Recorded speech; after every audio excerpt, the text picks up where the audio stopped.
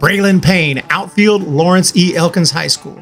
One of the most electric high school players available, Braylon Payne can do it all, including hit. He has a quick and flat swing that results in bullets all over the field. The left handed hitter will frequently smash rockets to the opposite field and uses his insane speed to turn singles into doubles and doubles into triples. His bat speed is ridiculous, and even though he doesn't use a typical home run launch angle, he will still hit a few over the wall, and a few that don't get out of the ballpark turn into inside the parkers. He plays top notch defense as well and can chase down balls that look like sure hits. Payne creates absolute mayhem on the base paths and on the field in general, and if the hit tool holds up in the pros, he could very well be on his way to the big leagues.